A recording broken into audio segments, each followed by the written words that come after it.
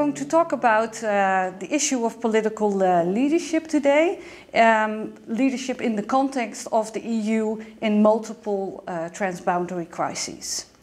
Uh, why is this important? Well, as we all know, EU has been facing uh, multiple and uh, transboundary crises.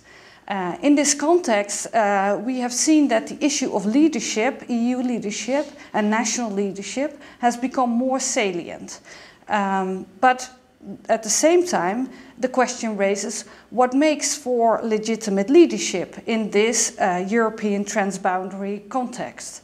So um, on the one hand, we see that people ask for leaders to really listen to their uh, wishes. So, and we also see a rise of more populist leaders in Europe. On the other hand, we also see that people are uh, asking for their leaders to offer good solutions to the crisis, and this may require more expertise. In the context of current crisis in the EU, much has been made of the tension between populism, and the will of the people, an expert rule or the opinion of experts uh, in, in, in, solving crisis. Um, populism is not new. It's been with us for, for a long time and defining it is, is controversial and contentious. But most definitions have elements of, or, or have a couple of common elements. It's about identity, identity of the people, perhaps more importantly than the individual. It's about representing the people, it's the will of the people, very often set against elites or foreigners, or even better, the foreign corrupt elite. And it's about the triumph of the will of the people and the fight against obstacles to the will of the people, for example, courts or foreign organizations that limit this. Um, a common feature of populism across the ages is a challenge to the prevailing consensus, particularly prevailing elite consensus. And this is very much what we're seeing today in the European Union. We find populism across the political spectrum. We find it on the political left, we find it in the right, we find it in the centre. And, and today in Europe, it really builds on four core features. One is the disillusionment with globalization, privatization, liberalization, all the projects of, of the 1990s and 2000s. A second is a call for protectionism against uh, the, the effects of free trade. A third is a focus on welfare, and particularly in the context of austerity.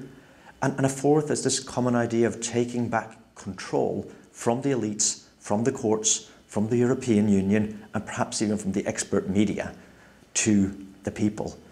And, and, and optimists see this as a potential revival of democracy, whereas pessimists would argue that this could be a path on the step towards illiberal democracy, a choice between the revival of democracy of the 70s and an illiberal democracy of, of the 30s, if you like. In any case, populism poses a particular challenge to crisis management because the traditional, if you like, classic approach to crisis management in the EU is to solve problems through new EU institutions and new EU policies. But this is being undermined by a backlash against elite compromise at the EU level, against technocracy and decisions driven by experts, and a backlash against rigid, inflexible rules that limit the action of the state.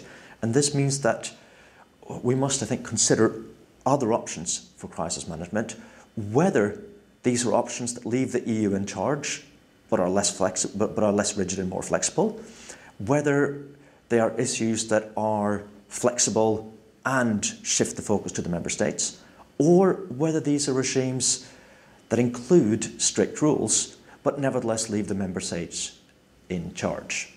So if we're now going to look what really happened uh, to, in Europe during uh, these multiple crises, we can see that these crises indeed led to calls for stronger leadership. This almost always happens when there is a crisis, whether it, there is a transboundary crisis or a national or subnational crisis, they always seem to uh, lead to calls for stronger leadership. If we look, for instance, to the case of the euro, uh, euro crisis, we can see that really two things happened. First of all, there was a call for more supranational technocratic leadership. Uh, that means leadership at the EU level and leadership by people that have really a lot of expertise in the matter. In that sense, uh, there were calls uh, also towards, for instance, the European Central Bank that uh, engages in the monetary policy in the EU.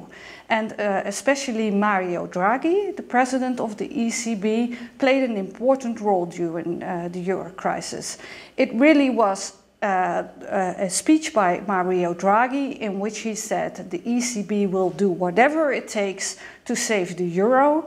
That really stopped uh, the euro crisis uh, or the height of the euro crisis and calmed the financial markets down. Why it was so effective was because, first of all, um, this was a centralist leader. He had, uh, he could make decisions for the whole of Europe, which, which is very effective. Uh, at the other hand, it was also very credible because everybody knows that the president of the ECB has, a, has the mandate and also has a lot of resources to take this decision and also a lot of expertise. Um, in addition to Mario Draghi, we also saw that, for instance, in Italy and Greece, uh, there were technocratic leaders appointed with the whole idea of that uh, expertise would lead to good uh, solutions. On the other hand, we also saw this rise of populist leader, leaders. One of the uh, main examples of this is the Greek leader Tsipras, who after a lot of crisis years got elected uh, as prime minister. Um, a lot has been said about his ideological ideas, but if you look at it cl very closely, you can see that he also engages a lot in identity building, um, also a lot in uh, voicing anger, the anger of the people against uh, the uh, elites and the European elites and the previous Greek elites. So this is an example of the rise of a real populist leader. If we look at those examples, we can see that uh, both have their strengths and their weaknesses. Populist leaders um, seem more democratic. Uh, on the other hand, technocratic leaders um, are seen to be more effective in their output. And it also seems that if you, uh, it's a bit of a give and take, uh, that if you are more democratic, then maybe it's not so effective. But if you are more effective and, and technocratic at the EU level, maybe it's not so democratic. Uh, in any case, if we look at it more theoretically, we can see that both these types of leadership really draw from two different sets of uh, resources. Uh, the technocratic leaders have a lot of expertise and skill, which uh, promises to offer effective and efficient uh, solutions. Populist leaders uh, claim to be more democratic and also uh, identify, there's a lot of more identification of people with the, these kinds of leaders. And that means that, lead, that citizens feel that they are better represented by these leaders. So we can see that these types of leaders uh, draw on uh, very different sources of uh, uh, legitimate uh, leadership. So as we have seen that uh, in this crisis there are uh, calls for two kinds of uh, leadership, uh, we went back uh, in our research and really studied what people really think about the leaders and um, in terms of legitimacy, what kind of characteristics of the leaders they really value. Uh, we took a lot of uh, European leaders that were active during the, the euro crisis and we asked uh, the people in Europe to give us their opinion about these leaders. Uh, we found in our study uh, that both uh, being democratically chosen as well as competency, which is a means of saying someone has the expertise to make decisions, are, are both very important grounds for people to deem leadership uh, legitimate. Uh, we also found, uh, very unexpectedly, that identification with the leader was not such an important factor in the minds of the people. In addition, we studied uh, to what extent leaders during the euro crisis voiced the opinions uh, that their citizens had.